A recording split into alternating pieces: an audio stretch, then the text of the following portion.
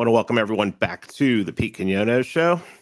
Thomas, it feels like we haven't talked in like four or five weeks or like a month or so. Man. How are you doing?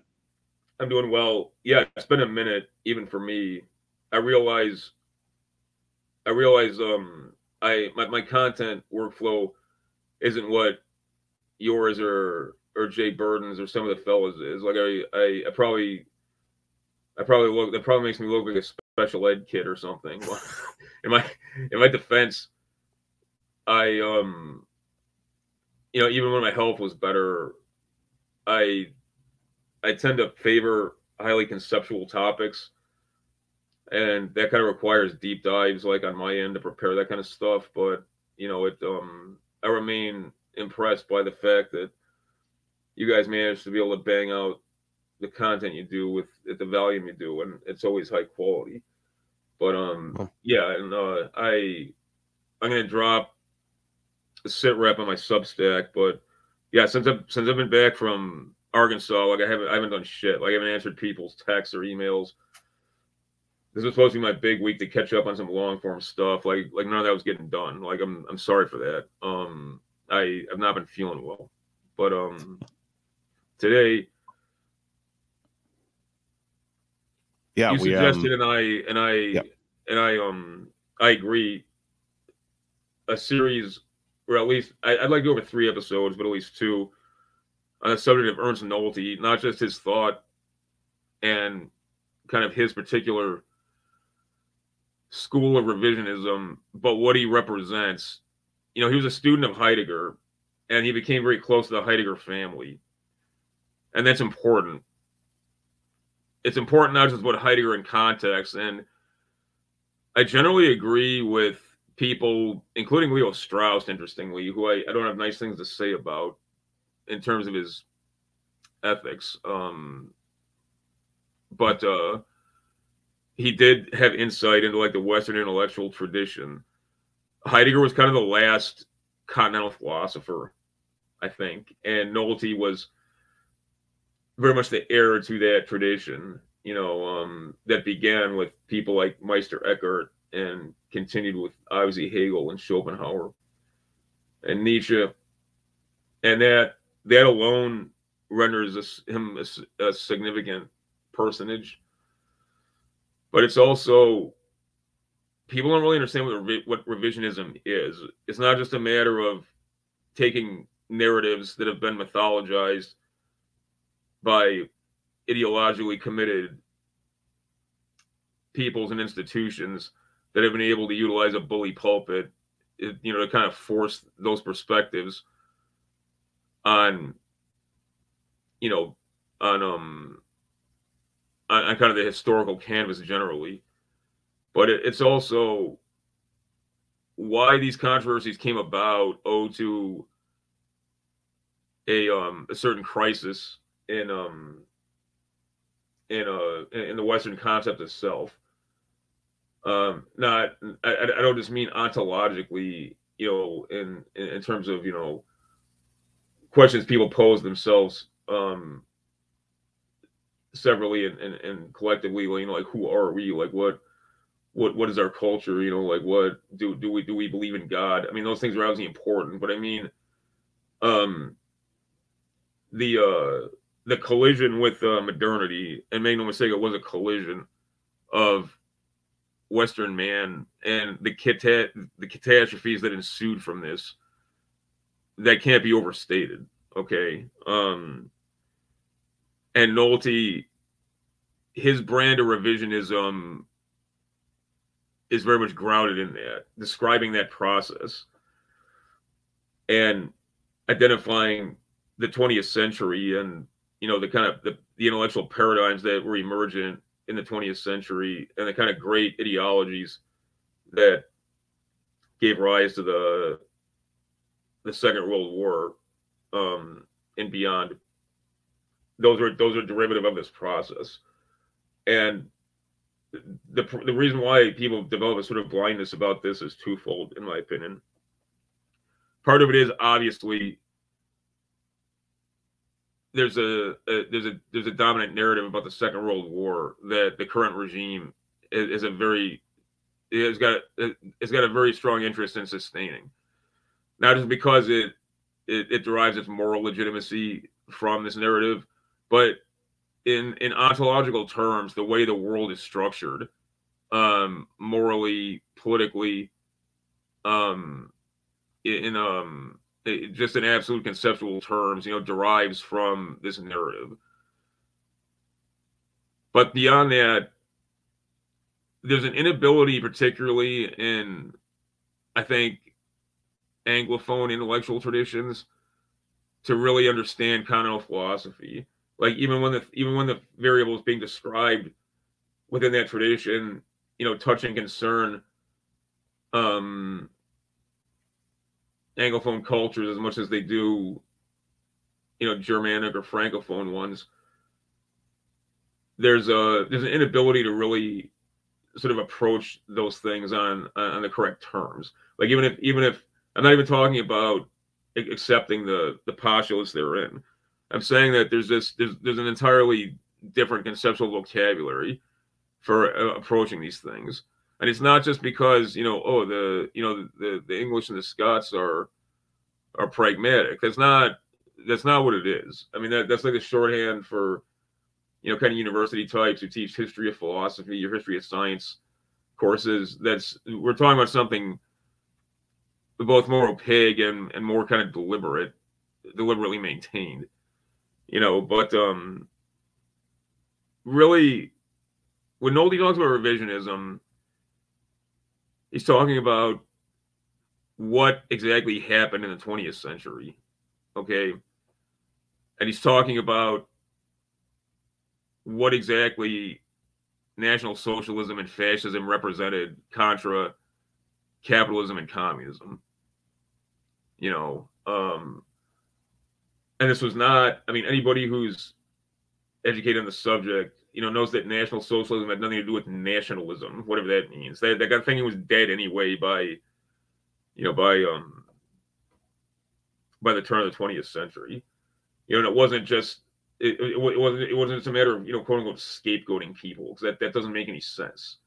You know, I mean, even if even if one accepts kind of court history claims that for no particular reason this Habsburg Austrian in the form of Hitler just decided he didn't like Jewish people for for some social reason. You know that wouldn't people would people wouldn't respond to some some man's like petty like personal biases. Like why would they? That's not that's not the way things work. Okay. Um. And uh finally, understanding how the kind of dehumanization, the process of dehumanization at scale, whereby human lives, the the, the horror of, of of human lives to the you know at um, at the level of millions being unceremoniously extinguished like ceased to ceased to be impactful you know like why that happened and why that was inevitable and how that was a mirror of what preceded it um, in the case of the Third Reich.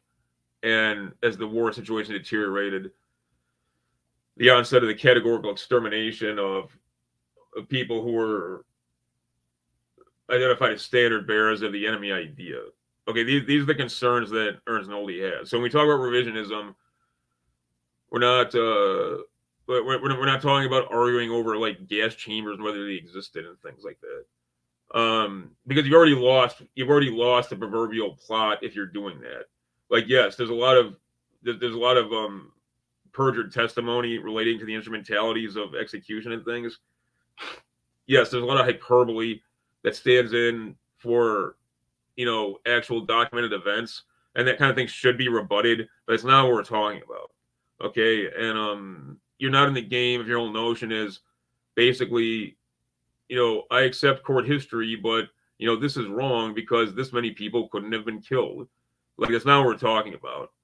And um if you're counting if you're counting casualty lists or you're or you're aggregating estimates of counter value attrition as, as some sort of like atrocity contest you know that i mean that that's that's incredibly perverse but it's also not you're, you're missing the point you know um so i know people will be like probably to them, they're like, well, how's Nolte revisionist? He, he doesn't do what Ernst Zundel did or does and, and just claim none of this happened. Zundel's not a real revisionist. He was some kind of troll. He was some sort of pre-internet troll.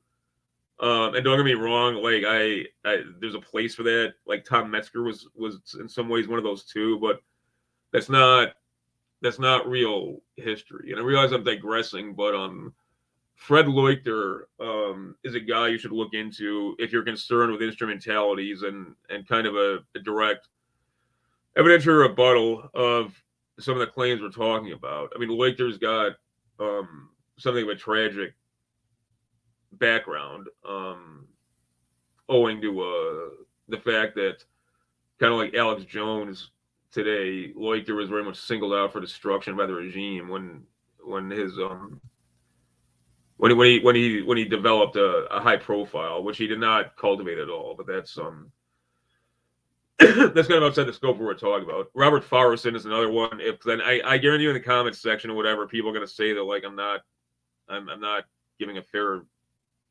shake or whatever to to what they to the people they consider to be kind of like you know the the authors and and writers who um constitute the revisionist canon. But getting into um what uh our our subject for the day. Um a lot is made of, of Heidegger's purported um affinity for National Socialism. And even people who are sympathetic to Heidegger, they seem to misunderstand that. The claim is, well, Heidegger was attracted to Nazism, you know, because he was a German patriot. And then when he realized that these were horrible people, um, he retreated from that, and or they or they claim that um, you know, he he, he coveted directorship of Freiburg University, and this, this was simply a career decision or something. Like none none of that even comes close to the truth of the of the situation. Heidegger was concerned first, last, and always with the crisis of Western civilization. Okay,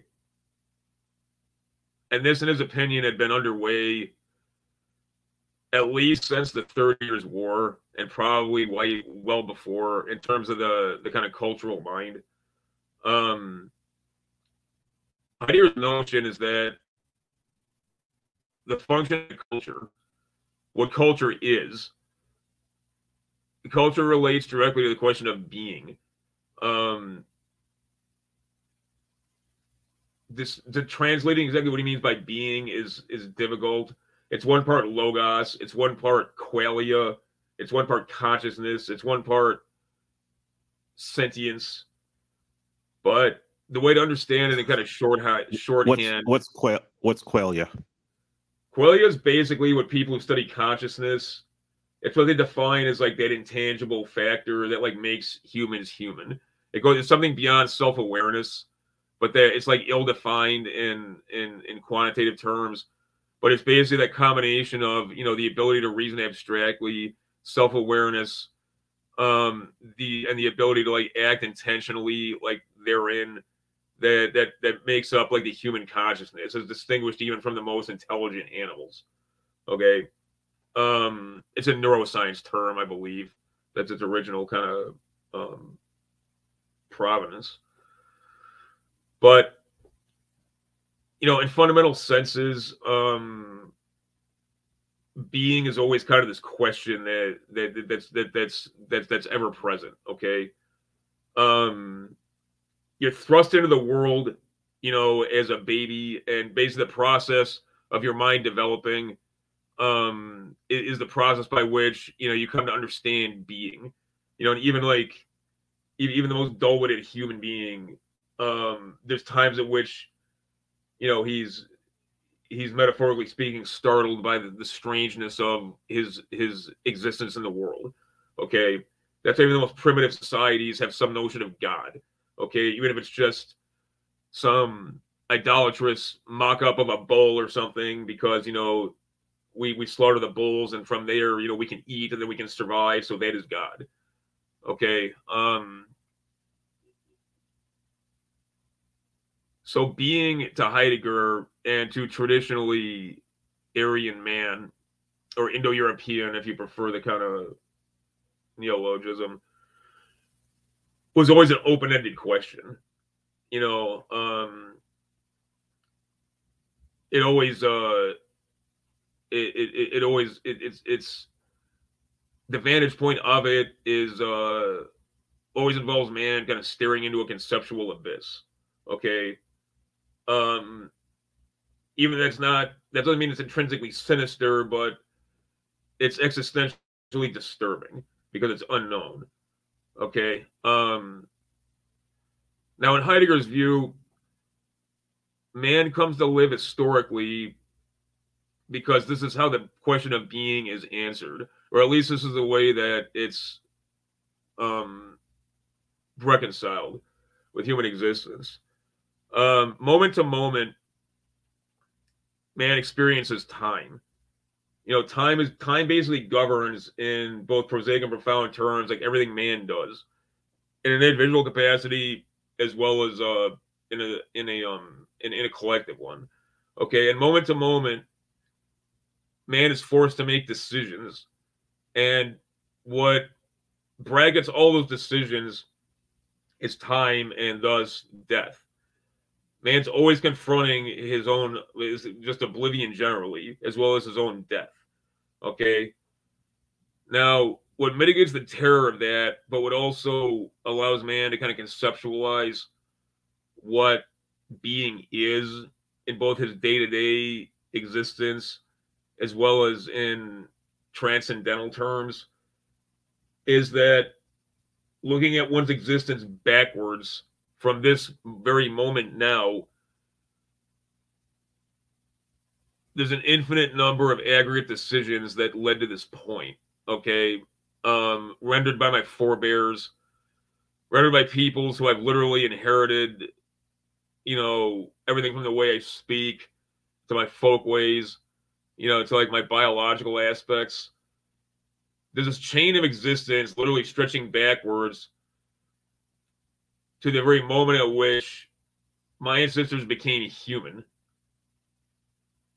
That is essentially, again, an aggregate of endless decisions rendered that constitute decisions within that temporal bracketing and the process by which you know questions are posed second to second moment to moment hour to hour year to year decade to decade epoch to epoch and as we come to understand these things in aggregate and as an aggregate process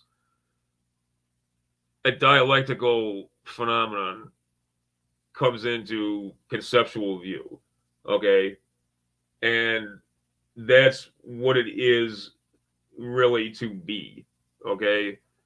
Um, it doesn't resolve obviously what it is, but it places it in a context that is at least rational within its bounded temporal terms, and that mitigates the terror of just you know living in in, in, a, in a world of the absolutely unknown, in which all beings and objects and, and phenomenon are are, are just mysterious and threatening and you know uh, totally unknowable uh, according to the the senses and and um in the human mind. Now that's a basically aristotelian view okay? I don't want to go off on how exactly that is because then we'll be here for weeks. But um that that understanding of of a dialectical process and the temporal bracketing of that process is basically Aristotelian. Contra was essentially a Platonist view and ultimately um, what became the Christian view, which is that being is um, this kind of presence, this transcendental presence, okay? And you come to know that presence through a combination of you know pious commitment to knowing it and through divine grace both of which are totally outside of temporal consideration okay? Now it's not for me to argue, nor to nor did Heidegger suggest that there's not priestly type men or or, or literal prophets who can apprehend this. And you know come to know God in this way. That I there's no reason to believe that that is not possible. Okay, but in the terms and context we're talking about, the way in which um,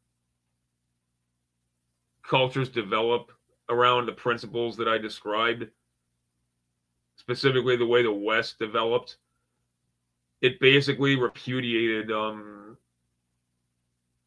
it, it was basically a self-repudiating postulate.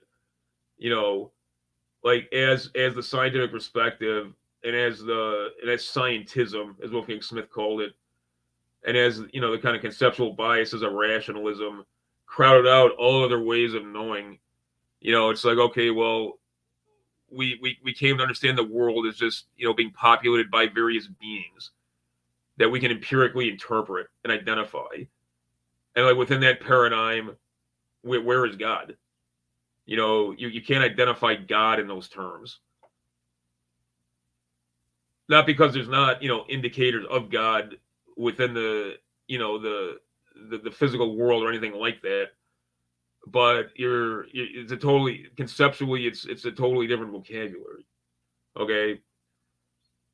So when you remove man from historical time and then you re- remove him out of um, these practices that uh, at one time allowed him you know to apprehend being as a divine presence you're, you're basically throwing him into chaos.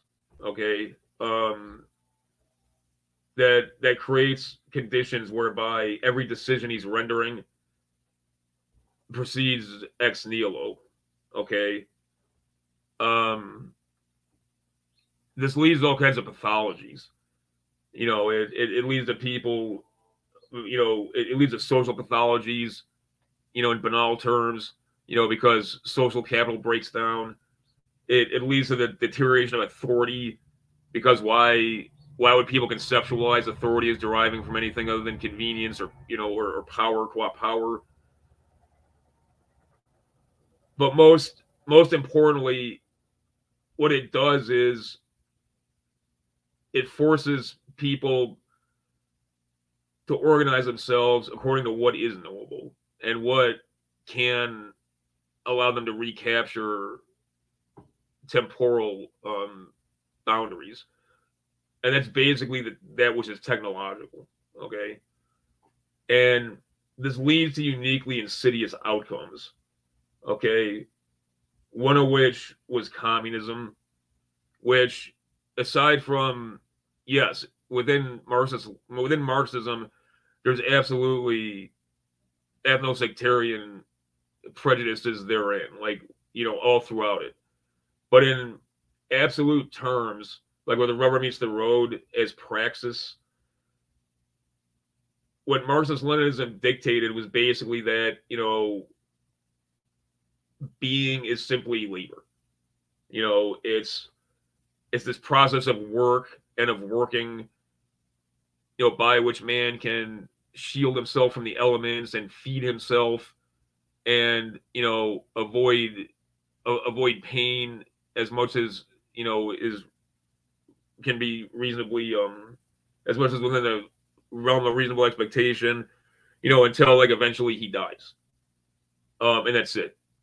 You know, and um there's an internal logic to that that is pretty remarkably consistent. I advise people read Das Kapital because I made the point of people like Marxism Marxism is nonsense, but it's actually very well thought out nonsense. Uh, the rebuttal of that as well, you know, it's completely self-referencing. But I mean, that that's the shortcoming of every uh, of every modern ideology, like capital I, like ideology, you know, in, in the proper sense, because uh, by de- by categorically by definition, its reference points are are, are beings, are, are quantifiable objects. So there's really there, there it, it's it's you're talking about the complete abolition of metaphysics okay? Um the kind of the kind of mirror of communism was capitalism. Now there's there's a problematic term. I know people say, well, capitalism is just a, cur- a coin, a term that uh, coined, you know, by Marxists themselves, and it appears in stuff like Communist Manifesto. That's true, but there is it's shorthand for the technological perspective. Okay, um, that perspective is basically that material progress is basically potentially infinite you know um the world it's it's it's kind of a perversion of the anthropic principle. It's that oh well you know man can perceive how to exploit all these objects in the world around him and even his own body to maximum plenty you know to maximum pleasure to basically infinite wealth. Um and that's that's basically the key to being okay is this where where would tra- where would transhumanism be on that scale? It's an extreme manifestation of the latter, what I just described. And key to transhumanism, it's so it's intrinsic to it, so it's not something that's emphasized. I believe because its proponents just take it for granted.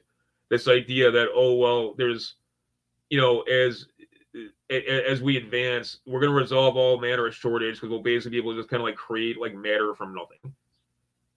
Like it's um, it seems like a science fiction concept, although less so as time goes on. You know, in movies like that movie, you know, the movie District Nine. Have you ever seen it? Um, yeah, definitely. Okay. Well, you know how like the alien technology, it's basically this fluid, but uh, it's like a smart nanotech fluid so if like you add it to a human body, it's going to try and like reconstitute it according to what it knows about biology, what has been programmed about biology. So it turns the guy into an alien. If you like apply it to like a fuel source or like insinuate into a fuel source, you know, it's going to try and like purge the impurities, you know, to make it like most like combustible or whatever. That's I've noticed in transhumanism when people say like, oh, but what about sustainability or what about this, what about that? They basically always fall back on like, well, this is just going to be resolved, you know, by by um you know by something by by something that can just sort of like replicate whatever is needed, you know, um and uh because that's the short that's a shortcoming of the of the of the technological perspective like writ large. Like at some point you like run out of stuff to be you know like um like kind of like to kind of oversimplify it you know like if there's not if there's not more things to exploit, I, I mean I mean that in like a value neutral term, like just if the material's not there, like what do you, you you're, you're done, you know? Well, that's also the whole thing about you know in Star Trek. You see these uh, machines that just create food, and it's like, yeah, okay, yeah. what what's that machine run on? Yeah, exactly, and what happens exactly. if that's taken away? Well, it's interesting too. Like I don't want to digress too much, but it's like that was the the reason why people went crazy about nuclear power you know, like thinking, you know, the, like literal like atomic age stuff. Like this is, you know, a, a brave new era of, of infinite energy. Like you can, like for all practical purposes, like atomic energy is like power from nothing. Like eventually, yeah, like it, your your your fuel source does burn out, but that's but but it's it's exponential. It, it's got an exponentially longer um life than any other conceivable fuel source. That's why that's what you're going to see colliding more and more too. Is that these transhumanist types who think that they, who think that that's like what their utopia is, but at the same time they're like terrified of of things like nuclear power. It's like it's like you can't have it both ways. But no, that's the yeah, that's why um yeah, that's that's in every um well that's one of the reasons why Dune is smart science fiction. I it's a different kind of thing, but you know, like Dune deals in at planetary level like shortage economies, which eventually everything becomes a shortage economy. You know, over on a long enough timeline, no matter how conservationist you are, you know, it's um, you know, like the Har- the Harkonnens, the Harkonnens have become incredibly wealthy, but the cost was basically like annihilating photosynthetic potential on their planet, so they're like a dying society. You know, like Arrakis itself, you know, uh, there's there's no water, so I mean, like everything from the way people greet one another to you know the way like the way military doctrine is organized, you know, is accounts for the you know the shortage of water.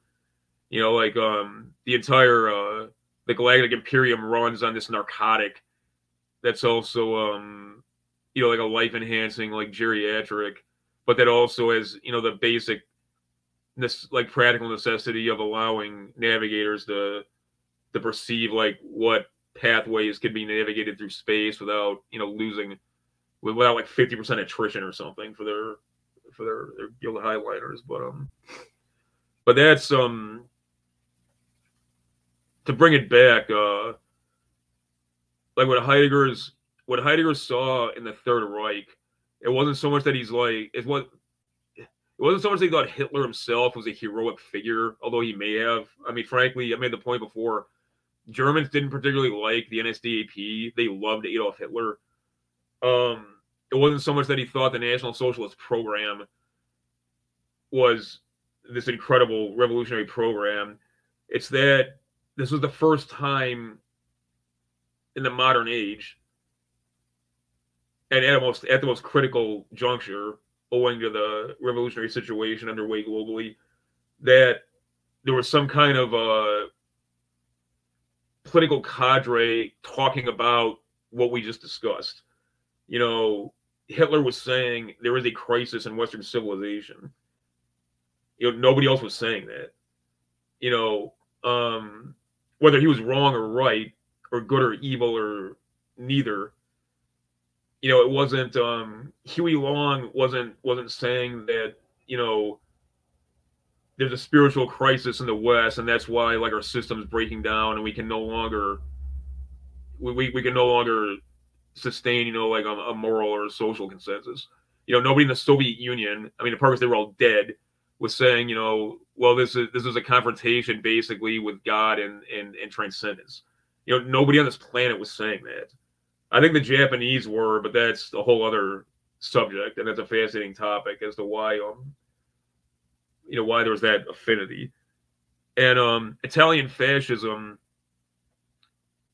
had something of a different source, and uh, we'll get into that as we get into Nolte proper. Um, that was related to the kind of intellectual nexus that uh, National Socialism was, but it was, it was different. It was far more radical. It was it was far more of um.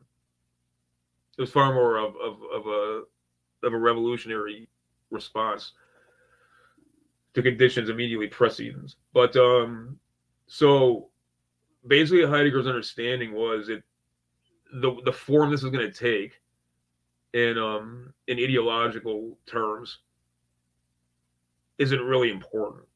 You know, the fact that this is conceptually front and center is what is important.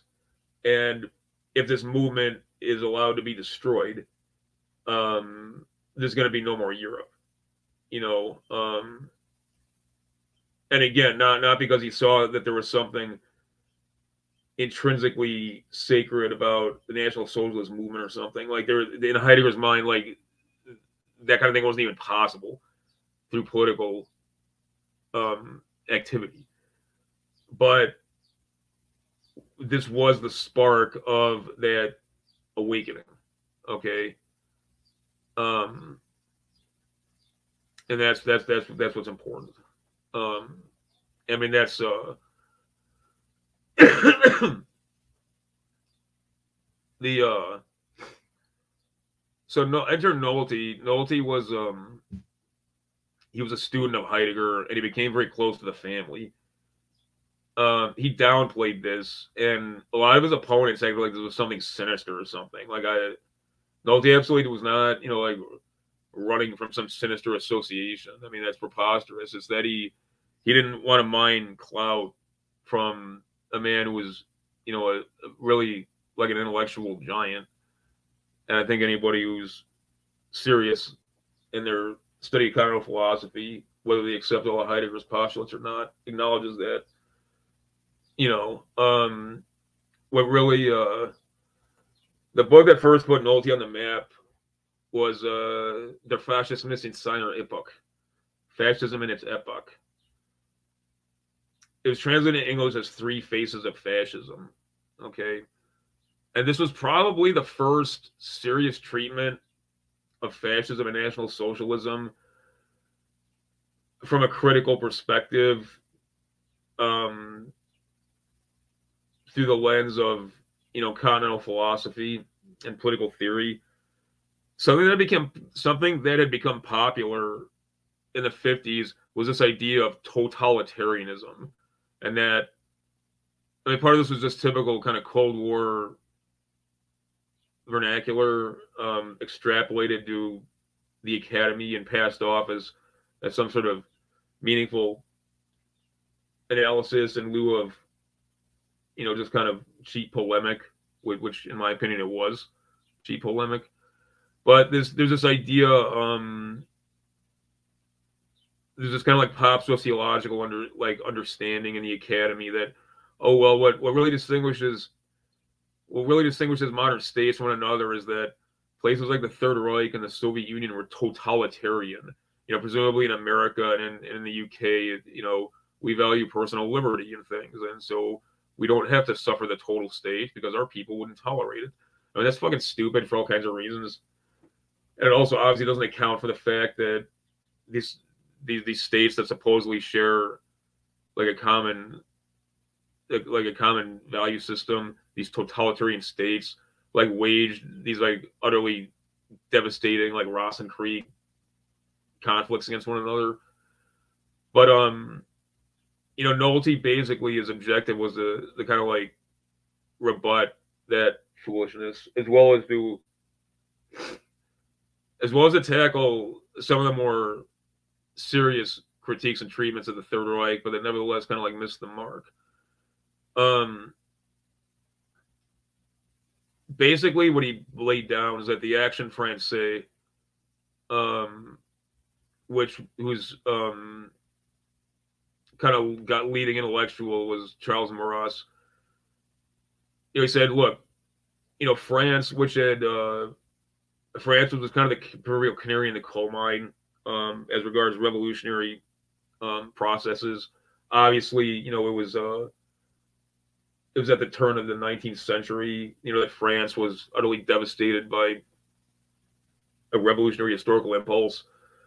So he said that Nolte suggested that um, a kind of uh, a kind of deep-seated reactionary tendency developed in France. Okay, and that which endures. Um, so the opposition in France is always going to be like radically conservative. Okay, and um, people like de Maistre, um, you know, the, the counter enlightenment philosophers, um, there was very much like a, a francophone like stamp on this. Okay. So he says that um, emerging in the 20th century, kind of like the first truly like modern, like like in 20th century terms, like reactionary movement was like the Action Francais. Okay. you said the re- the response to that reaction were the Italian fascists, okay, who were uh, it was basically a radical proletarian movement. Um, you know that uh, it was a it was a form of both resistance to and reaction against modernity, but it also embraced like certain aspects of hypermodernity, you know, which seemed um, which seemed incoherent to people who don't really understand what's underway but um, there was a. Uh, I think that one of the reasons I emphasize George Sorel so much is because thinkers like him are kind of the tie that binds what seems like opposing tendencies. But um, and most significant, Nolte suggested National Socialism was a synthesis of these two tendencies, you know, which themselves were a reaction against, you know, the tendency towards Bolshevism as the new kind of um as the new uh iteration of of um you know what had what was first emergent with the Jacobin Revolution. You know, thus National Socialism. It's both it's both radical and reactionary. It's both revolutionary and conservative. You know, his point was uh, this is this was actually a very coherent, very cohesive remarkably integral um, ideological program. and it's one of the reasons people responded to it like they did. Like this idea was just some. I mean, politicians are constantly trying to conventional politicians. They're constantly promising all these old people. They're constantly preaching, especially in those days, um, some kind of reconciliation between the classes. and They were getting absolutely nowhere, you know, whatsoever.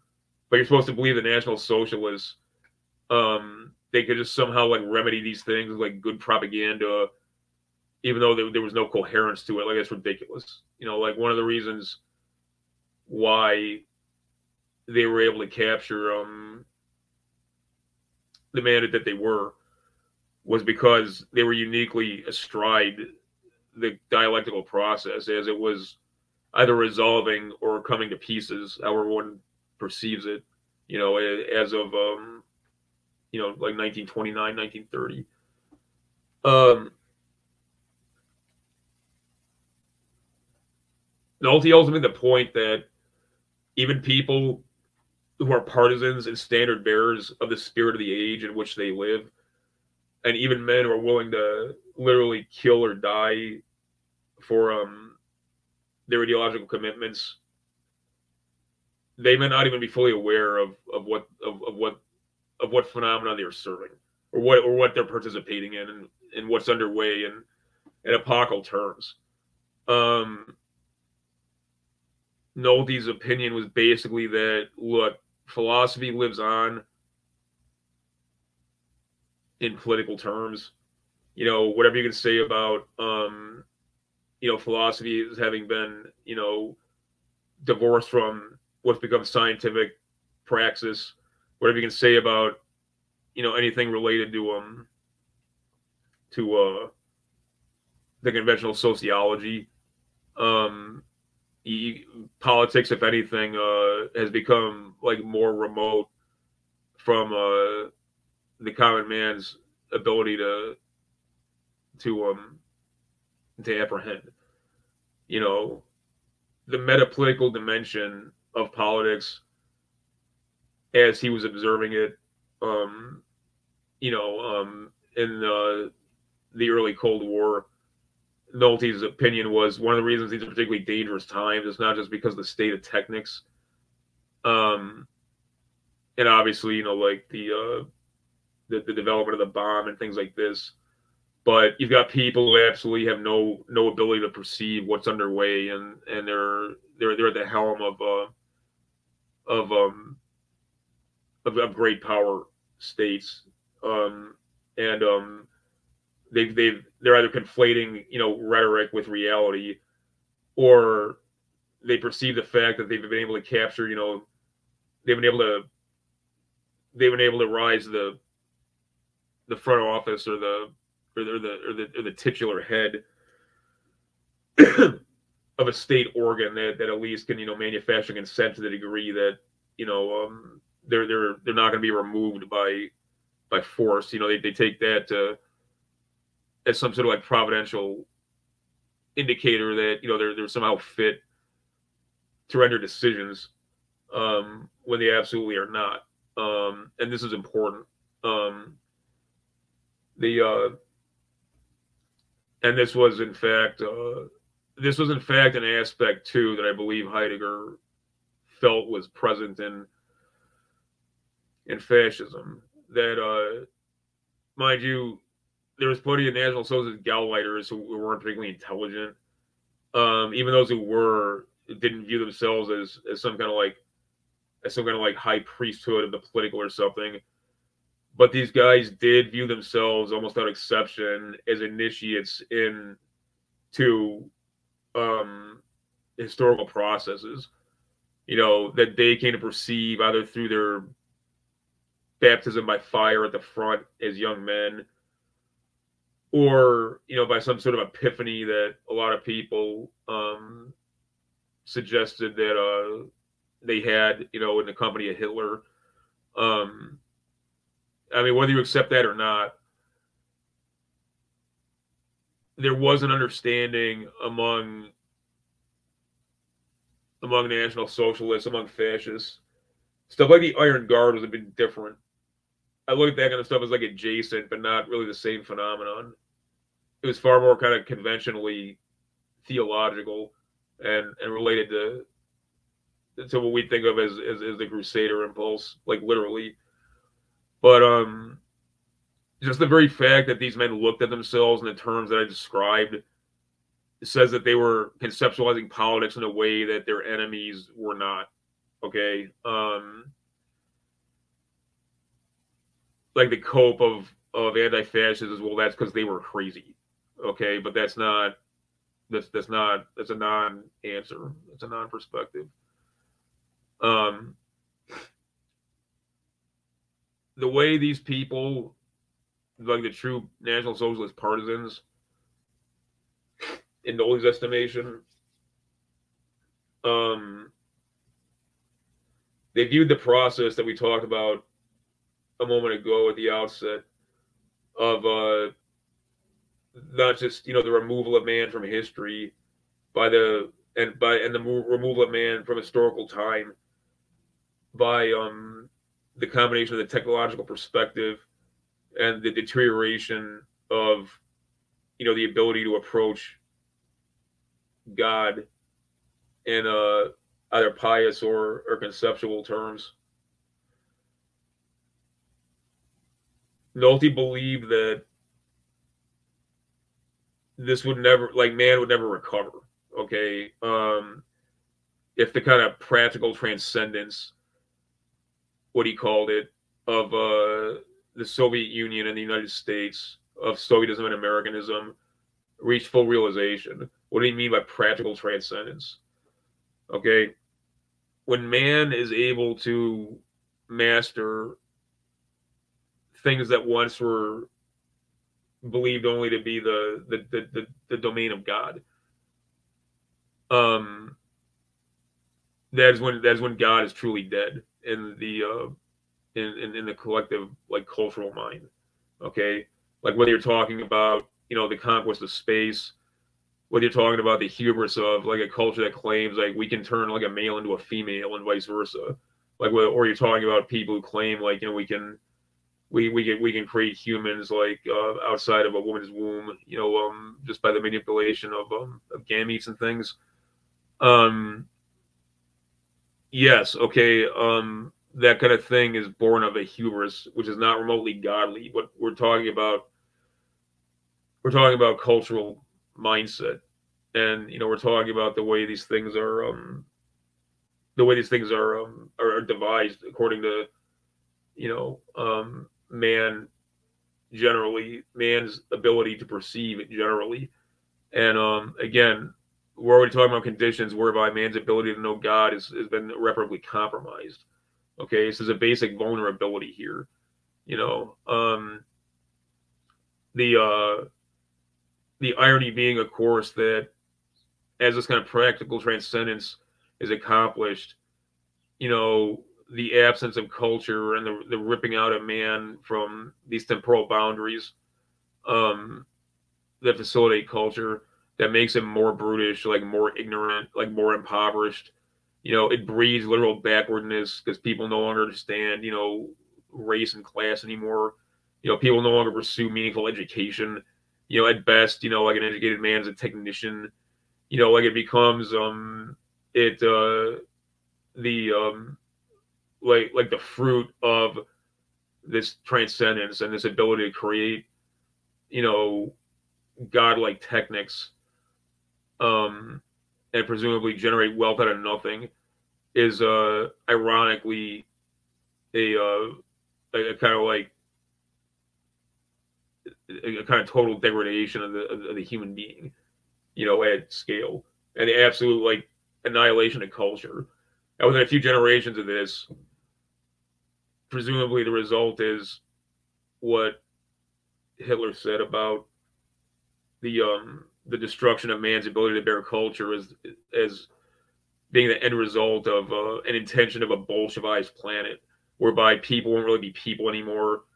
Like regardless of the mentioned material in question, they'll have no memory of culture. They'll be they'll be unable to bear it, even if they did.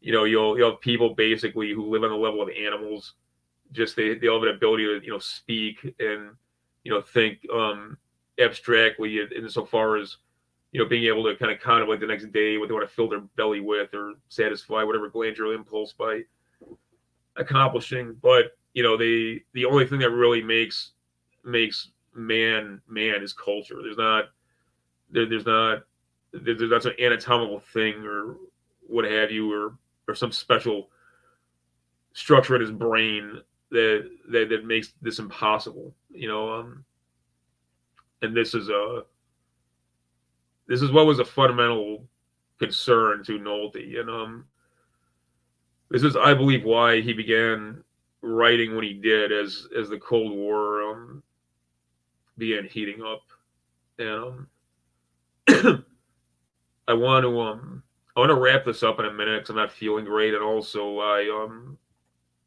I realize this is like a long introduction, man, but I think um it's important because like I um assuming you're okay with this, this your show. Next episode, sure. I want to get into um the historians debate or uh the Historikerstreit, as it was called, the historians mm-hmm. controversy.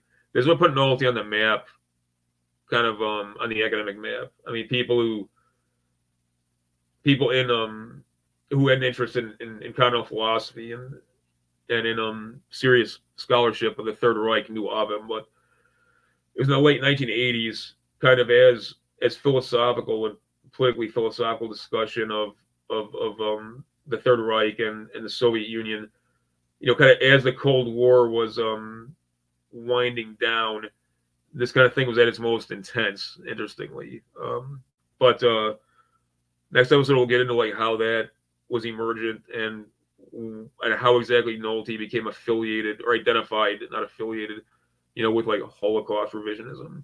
Uh, which, like I said, there's, there's, nothing at all wrong with Holocaust revisionism, but Nolte is adjacent, but a different represents a different tendency. And we'll get into what I mean by that. Um, I hope that this was not too scattershot. I didn't bore people. I also I'm not feeling great, so forgive me, man, if like my ideas were not terribly fluid. No, no problem at all. Um, do some plugs and we'll end it. Yeah, man. Uh, you can always find me at uh, Substack. It's real Thomas seven seven seven at Substack.com. We got a chat there too, in addition to like my in addition to um my podcast and like videos and other cool stuff. You can always find me on Twitter, at least for the time being. Uh, they like monetize me, so I, I don't think they're gonna imminently nuke me, but you never fucking know. It's uh at capital R E A L underscore number seven HMAS seven seven seven. You can always find me on my website. It's real thomas777.com.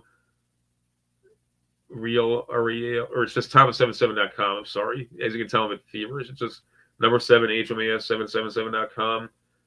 I'm on Telegram. I'll probably get more active. Um, as I have less time on social media to fuck around. Um, you can find me on YouTube. It's Thomas TV. Do a search for Thomas77 on YouTube and you'll find me. Um, yeah, man, that's what I got. All right. Thank you. Until the next episode. Thanks, Thomas. Yeah, man.